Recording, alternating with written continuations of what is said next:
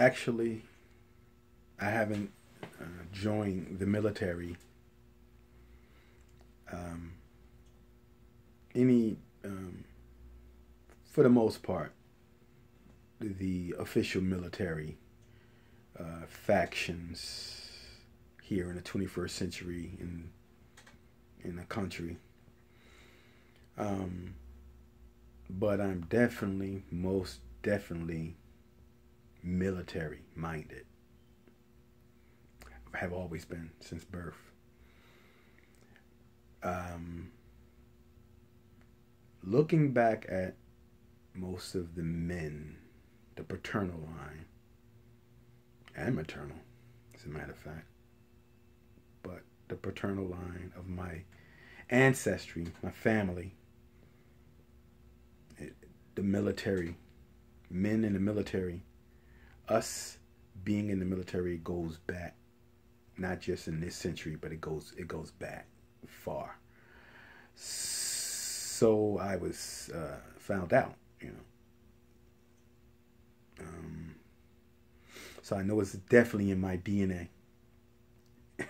Has to be. You know, uh, as a child, uh, thinking certain ways, doing certain things, and even as an adult, always uh, vigilant,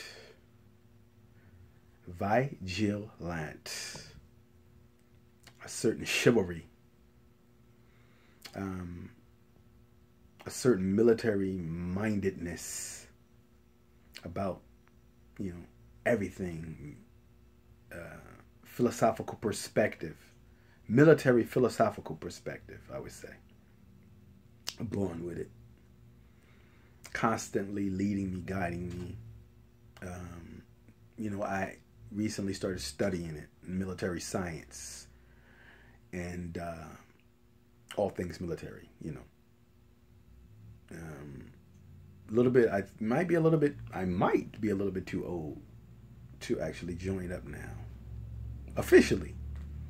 But you know, it's the quasi movement's always around, you know. So, just you know, that's just a, a little thing, little inkling about about me. Um, love that stuff, you know. Love watching documentaries and learning about it. And my hats off to all you men who and women who have served and and have that experience. I'm jealous of you. All right.